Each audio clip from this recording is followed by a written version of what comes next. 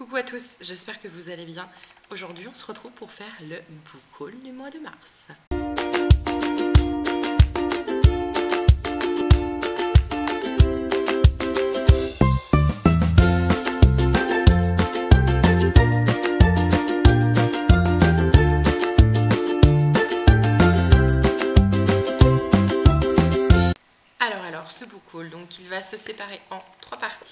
La partie cadeau, la partie d'occasion et la partie euh, des achats neufs.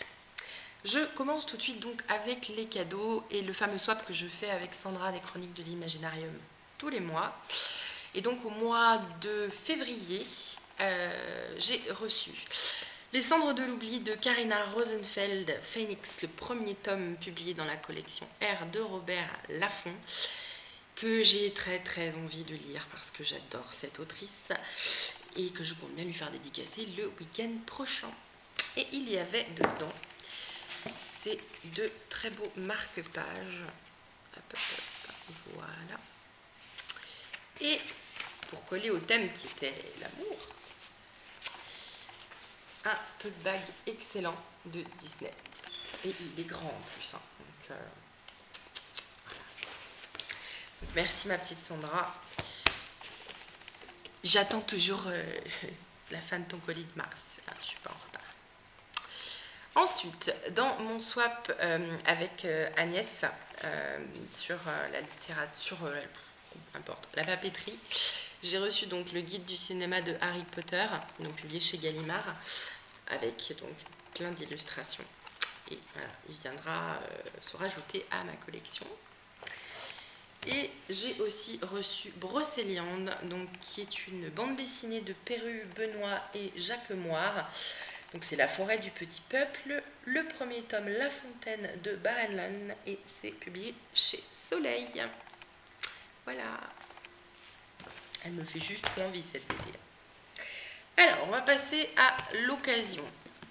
Je me suis fait plaisir avec ce Sophie Jomain dans un état excellent, donc c'est d'un commun accord, publié chez J'ai lu, où on va suivre Jane et euh, Martin, euh, qui sont tous les deux euh, des personnes un peu particulières, puisqu'on parle d'escrocs, d'égoïstes, vénales, enfin bref. il y a une histoire d'accident. Bref, c'est une romance. Il était un prix de, de dingue, 3 euros. Et du coup, j'ai dit, bah voilà, je vais pouvoir lire de la romance de Sophie Jomain. Ensuite, j'ai trouvé les aventures de d'Aliette Renoir, pardon, La secte d'Abanon de Cecilia Correa, publié chez J'ai lu. C'est un livre que j'avais envie de lire depuis très longtemps, qui se passe pendant la Seconde Guerre mondiale à Paname. Je suppose que c'est euh, soit euh, la façon de dire d'Aliette pour parler de Paris, soit euh, une autre version de Paris de l'époque, qui aimerait bien combattre les Allemands, mais non, elle, elle combat les vampires.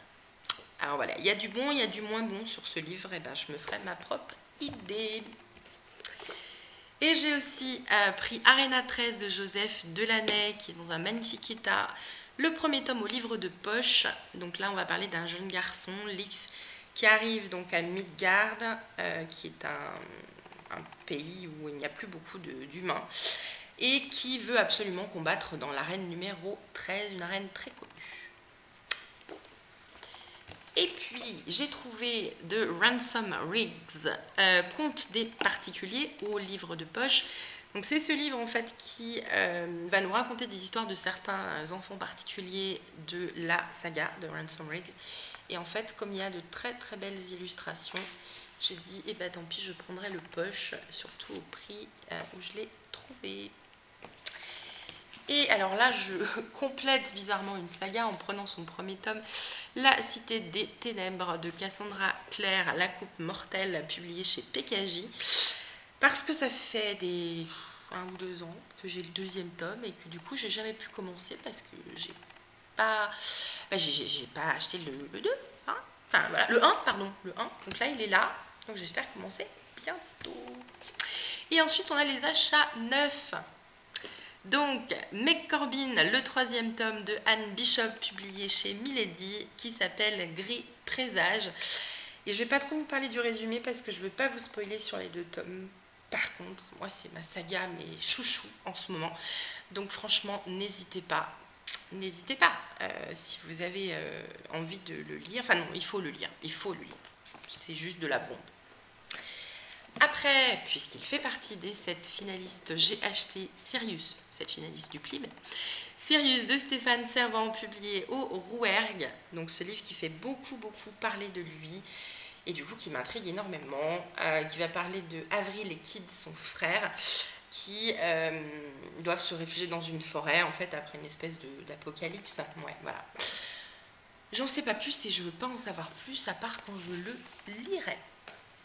Ensuite, je me suis procuré Affaires étranges de Jocelyn F. Keller, publié chez Scrineo, et ce sont des histoires en fait authentiques. Donc, on va euh, avoir diverses histoires sur le paranormal, l'ufologie, les affaires criminelles troublantes. Voilà, du coup, moi, ça me tentait bien. Euh, une parution un peu différente de ce que je lis chez Scrineo, mais qui avait l'air très intéressant. Et voici La Cour d'Onyx, le premier tome Minuit, jamais ne vienne de Marie Brennan, publié à La Talente. Où là, en fait, on va être au XVIe siècle en Angleterre, donc sous le règne d'Élisabeth. Euh, et en fait, où il y a un monde souterrain de féerie. Et voilà, moi, ça me fait trop envie. La couverture est un peu bizarre, mais elle m'intrigue beaucoup. Pareil, un livre qui m'avait fait craquer dans mes wishes, c'est en fait Les ombres de Julia de, j'ai perdu son nom, Catherine Egan, publié chez Milan, La fille de la noyée. Et donc on va suivre Julia qui peut se rendre invisible et qui est donc une voleuse. Et enfin, j'ai, ça y est, craqué pour la collection, enfin pour ces livres de... Euh, Ada Édition, donc c'est de LP Sicard, Les Contes Interdits. Donc là, c'est Blanche-Neige. La couverture qui fait trop flipper. Et donc, c'est des adaptations de contes, mais euh, pareil que c'est très très violent. Donc, on attend mon retour. Je ne sais pas quand, mais je vous le ferai. Et j'ai aussi pris Peter Pan, donc toujours dans la même collection des contes interdits, de Simon Rousseau chez Ada également.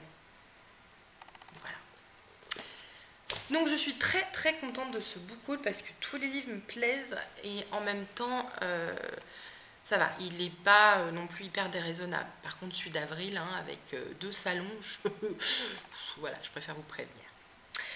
Du coup, ben voilà, j'en ai terminé avec mes présentations de bouquins. Est-ce que vous, vous en avez lu certains? Est-ce qu'il y en a qui vous font envie? N'hésitez pas dans les commentaires à me le dire. Et puis bah, vos petits pouces bleus, ça fait toujours super plaisir. Et si vous n'êtes pas encore abonné, n'hésitez pas, comme ça on reste en contact. Et moi je vous fais des gros bisous, je vous souhaite de belles lectures. Ciao ciao